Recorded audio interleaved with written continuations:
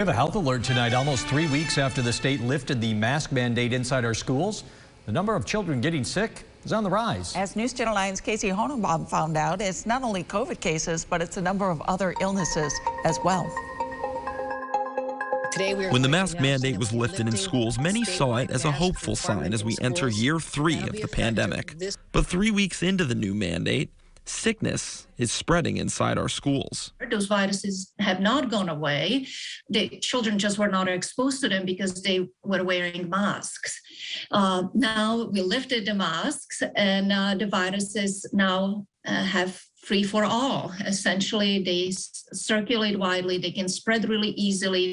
It's not just COVID that's spreading, it's other respiratory infections as well. As we masked for those extended period of times, two years essentially, you know, we've been pretty sheltered uh, from those viruses because masks work really well for respiratory viruses, not just for COVID, but they work well for uh, influenza, for res- you know RSV, and other common cold viruses. especially with younger children. or they're exposed to different types of germs. Uh, and as they do get exposed, their bodies learns to deal with those infections and um, uh, their bodies uh, build immunity. It's quite likely that we now have a cohort of, um, you know, 2020 and 2021. that There were some children, especially younger ones, have not been exposed to those viruses However, Shaw says there is a solution now that masks aren't a requirement. The best protection is really to get your child vaccinated because the vaccines really protect your child from severe disease.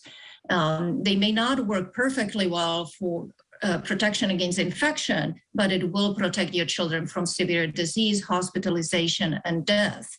keeping children safe so they can continue to learn.